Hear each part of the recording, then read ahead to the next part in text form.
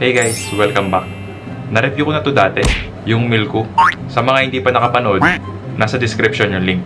Pag-usapan na lang natin yung mga important points and concerns sa paggamit ko nito after one month.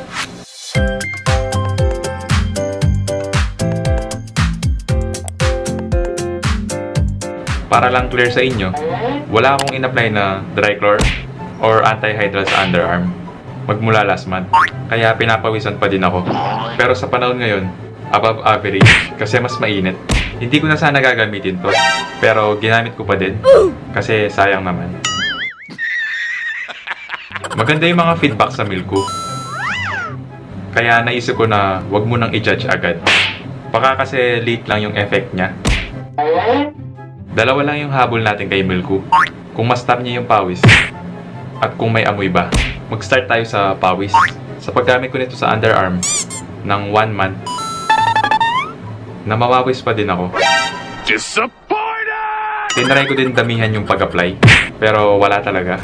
No, God! Kung katulad niyo ako na pawisan, 5 times a day uminom ng kape, mahilig sa maanghang, huwag niyo na lang subukan to. Mataas yung chance na papawisan din kayo. Partida na yon kasi nasa lupa ako ng bahay. Paano pa sa labas, di ba? Pagdating naman sa amoy, wala siyang amoy na mabaho kahit pawis na. Pero hindi ibig sabihin na walang amoy, safe ka na dito. Hindi. Walang amoy yung mismong underarm.